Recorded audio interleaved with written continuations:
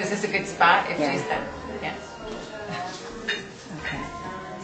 All right, so I'm talking to Barbara Bouchey, homeowner of 16 Silo, part of the 2008 Showcase of Homes. And my first question for you is just to, for you to tell us a little about your personal story.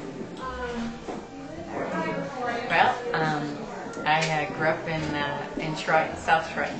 Um, say pretty humble beginnings in Troy. I grew up in a low-income housing project, and uh, it was an interesting life with a lot of great challenges and adversity, and it taught me a lot. It taught me a lot about taking care of myself and taking care of other people, and uh, I learned very quickly how to work and to earn money, and uh, I think it helped me develop a really great work ethic and helping other people. Um, I have uh, three brothers who two were uh, mentally retarded, and that taught me a lot too about people and uh, all kinds of people and how to be compassionate and, and work with people. And that kind of led me um, when I went to I put myself through college.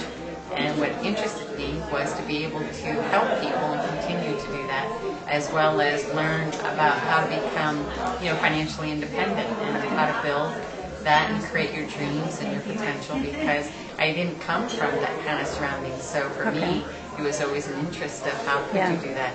Okay. Uh, All right. Um, so speaking about, um, you know, going from those humble beginnings, um, tell me a little bit about how that has inspired you with your home.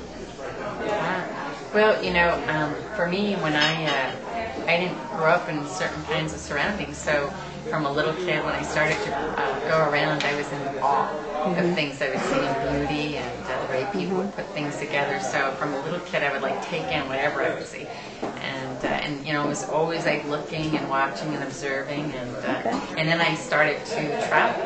And from traveling, I saw all different parts of the world, from Africa to Europe to Asia to, you know, Canada and Mexico. And, you know, and every culture has their own way of uh, taste and style and decor. And I just started to uh, uh, blend it all. And so I wanted to create a home um, where when people could come, that not only would it feel comfortable and casual and uh, laid back, but also they'd get a sense of the world because a lot of people may never travel outside the United States, and I wanted them to have an experience of, you know, of all parts of the world because I enjoy that. So I have things I've been collecting all over my house from different parts. Okay. And uh, so, All right, great. Um, so, kind of switching gears a little bit, let's talk about um, what you do for a living. Um, you work for Barbara Bouchey Asset Management, and um, with the current economic climate, tell me a little bit about how that's affecting your clients on a local basis. Um, well, I think uh, one of my mottos is to try to communicate with my clients. Um, right from the very beginning, um, I set out to try to educate them about the stocks, bonds, the market, the risks, and things like that, so that when certain things go on, they have a working knowledge of it and they're not so nervous. It's not just like they're trusting just what I say, they actually have a foundation to draw upon.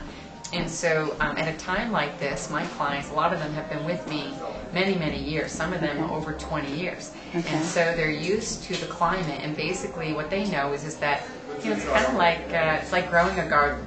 You know, if you plant seeds and you grow vegetables, of course, we love it when it's sunny, and we want sunny days to be all the time. Yeah. But in order to have a beautiful, healthy garden, you need some rainy days. Okay. And the rain helps makes the vegetables. Well, so too does investing. Okay. Investing is, um, you know, you need to weather the storm and uh, buy good quality things and diversify. And, Okay. You know, and it kind of takes care of itself.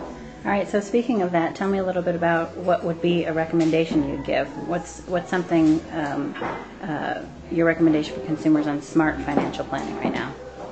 I think smart would be not to be um, nervous and do anything too rash and too quick, and to evaluate one's portfolio. And hopefully, um, smart would be that you diversified and allocated your portfolio appropriately in the beginning for short term and long term.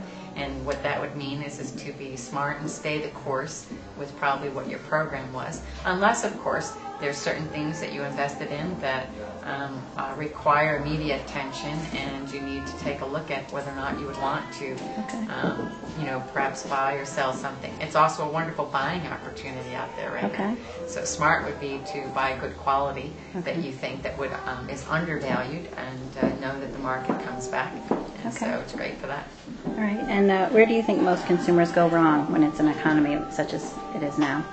Um, they panic and they sell. Okay. And then, um, you know, for example, a couple days ago, the Dow had dropped 700 points or so. The very next morning, it was up several hundred points in literally 12 hours. Yeah. So, you know, so the, the, the, the thing to do is to be, you know, to, to consult good advisors and to evaluate very carefully and, uh, and not do anything too rash. Okay. Great. And um, just give me a quick comment on the bailout proceedings. Yeah, that one's a loaded question. The bailout. well, there's different philosophies that you could state with that. Um, my first thought is where are they getting the money from? Okay. You know, so although it's lovely to bail out, you can't just print money. And uh, sometimes I think that um, there may not be anything underneath what it is that we're doing. Right. Um, at the same token, I think that we need to do something to stabilize the economy. And uh, in addition to that, though, um, I think that if we all were not rash and calm and didn't have headline news saying a thousand banks went down the tubes and things Yeah. like that, I think what we do is we self-create the panic and we self-create what's going on. And the bailout is kind of like treating an effect. Okay. In a way, we kind of self-create it. So. Okay. Great. Thank you very much. okay.